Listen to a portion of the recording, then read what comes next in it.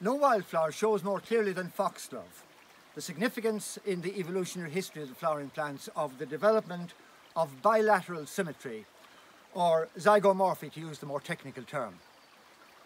Now, of course, we can examine foxglove at leisure in our gardens, but nothing beats the sight of foxglove in the wild.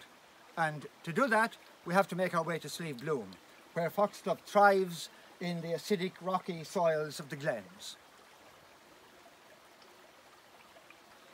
So, the large flowers are produced in these tall, elegant spires, and they mature from the bottom upwards, which means that on any one spike you're go going to see flowers at all stages of development, and this enables you to follow the progress of what's happening in, in, the, in the flower much more easily uh, than it would otherwise be, or than it would be in, in smaller flowers. Uh, so if we take one of those flowers, you can see they're thimble shaped uh, and they're bumblebee sized, which means that only bumblebees can really fit comfortably inside. And in fact, they are the intended pollinators and the only legitimate visitors are bumblebees. Uh, if you can look at the front of the lower lip there, you'll see the way in which it's extended forward uh, as a landing platform for the bees. And to make their arrival more convenient, you can see that that landing platform has long hairs on it which enable the bee to get a purchase with its front legs as, as it clambers up into the bell itself. And you'll see the way in which one sits up into the bell, the floor of the bell and the walls to a lesser extent are ornamented by this extraordinary pattern of spots and speckles. Going right to the back of the flower, and notice the way each of those, it's easier to see when you look at the individual speckles, each of them is surrounded by a halo, a white halo, which is translucent.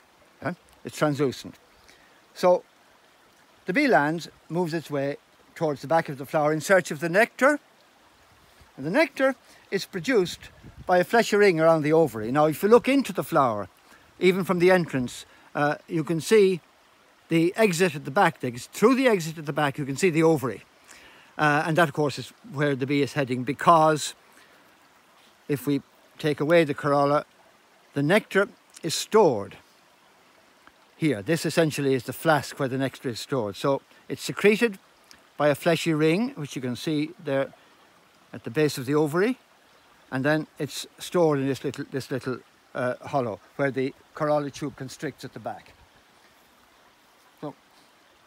If we look a bit more closely now, I've taken away the corolla, but that helps to appreciate the next point because if we now split the corolla into two, separate the upper from the lower lip, uh, you can see that in the roof, in the roof, you have the four stamens.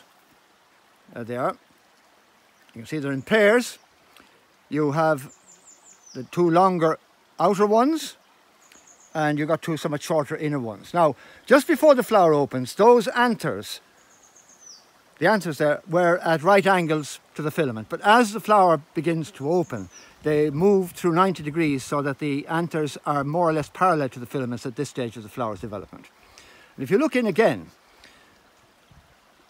okay, if we look in again, you see the way the base of the outer anthers goes in towards that constriction at the back uh, in order to corral the bee towards the centre. In other words, to move the bee into the maximum position for effective pollination. It's all, they almost look like, like the, the, the, the handrails on, on, uh, on an escalator.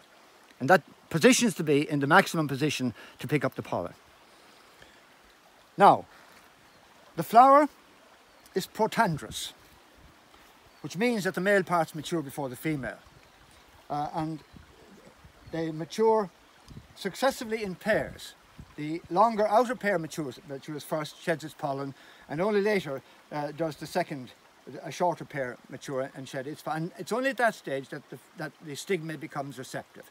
It moves to the front of the flower and the two receptive surfaces at the tip of it open in order to be able to pick up pollen.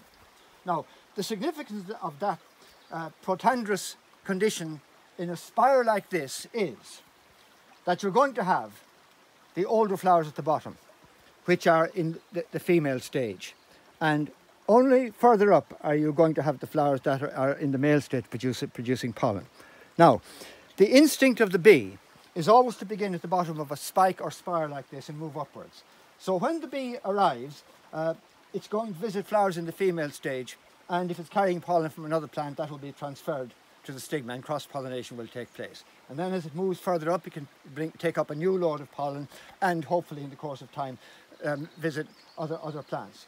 So the chances of uh, outcrossing or cross-pollination taking place are maximised by this sort of arrangement. But suppose it's a, a, a miserable wet summer and bumblebees are in short supply and don't visit the flowers. Well, it's, it's then that you, you, you see the significance of the attachment of the stamens uh, to the corolla because the flower will be open for about six days. And at the end of that time, what's going to happen, we, let's assume no visitors have arrived, uh, it, it, it sheds its corolla skirt. And in doing so, in doing so, notice now what's left behind is the style and stigma, as the style and stigma.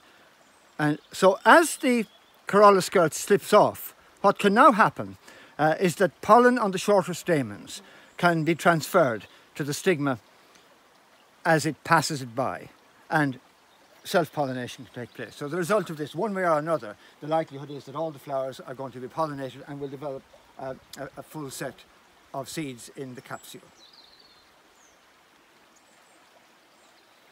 It's difficult for us to imagine what the bee actually sees when it visits foxglove uh, and a large part of the reason for this is that the bees can't see red.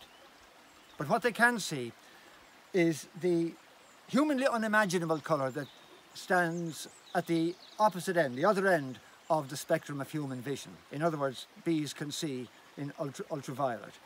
Um, to get the beginning of a sense of how differently the bee sees, if we take a, a small torch and shine it into the bell, you can see that it doesn't really make a great deal of difference.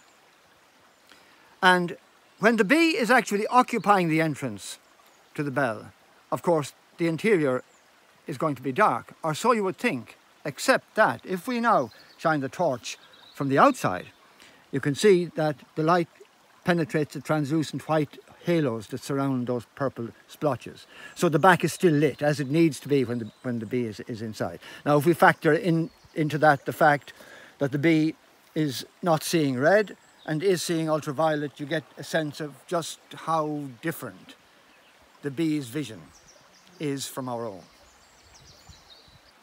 No wildflower has a more potent pharmacological reputation than foxglove uh, because it is the main natural source of digitalin which is a powerful uh, cardiac stimulant that has been in use in medicine since the late 17th century and is still widely used.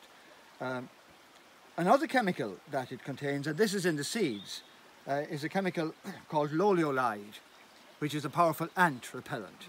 And this, of course, helps the security of the seed bank.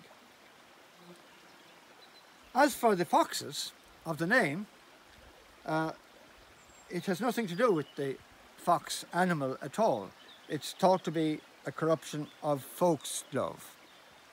The folk in question being the she, the little people.